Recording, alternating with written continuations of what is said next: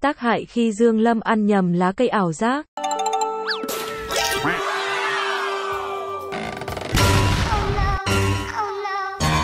Cái ảo giác á Cái ảo giác á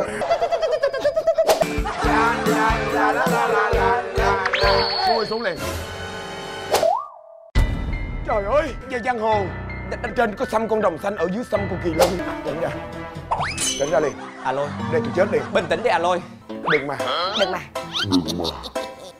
Đừng làm vậy. Nói nè à lôi À lôi Cậu ba. Cậu ba. Cậu ba. Tôi không phải là cậu ba. Tôi không phải là cậu ba. Cậu ba ơi. Thẳng tăng Hồng trà sữa Phú Long tới chưa? Ông hút đâu? Mới cắm vô á. À. Mấy cái đoạn này là cắm hút. Cái đầu ông hút nằm đâu vậy? Ấy coi chừng bị nghẹn cái chân châu á. Dạ Khi tỉnh táo lại, Rồi trà sữa đâu? trà đâu? Ủa là mình Ủa là có không? Quá đủ rồi Ok rồi Ok rồi